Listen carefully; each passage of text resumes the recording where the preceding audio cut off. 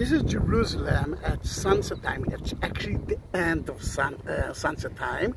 Um, you can see, can you see the far, far away mountain? Behind it is already the um, Judean Desert. Actually, that part is uh, Judean Desert too, but the Dead Sea is there. I don't know if you can see, but there you can see the wall yeah, a little bit. It's not so easy to see from here. The wall between Israel and the West Bank. But I didn't stop for here. I didn't even stop here because of the tomb of Oskar Schindler that uh, is um, buried there in the Catholic uh, cemetery. I didn't stop even the, um, I, am not going to talk about Mount Zion, which is there. So many things to see there. I'm talking about Judas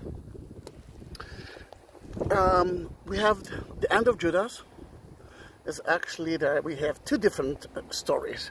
The first one is that um, he gave back the 30 coins of shekels that the priest gave him just before Jesus was crucified, but the priest couldn't use it. Then they actually uh, built a cemetery for non-Jews who believe in Judaism.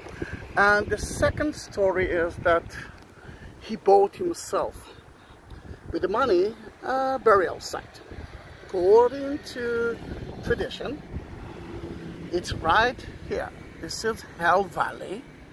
Uh, the book of Jeremiah said that at the time of Jeremiah, the people used to, I mean, the non-Jews used to sacrifice their firstborn son.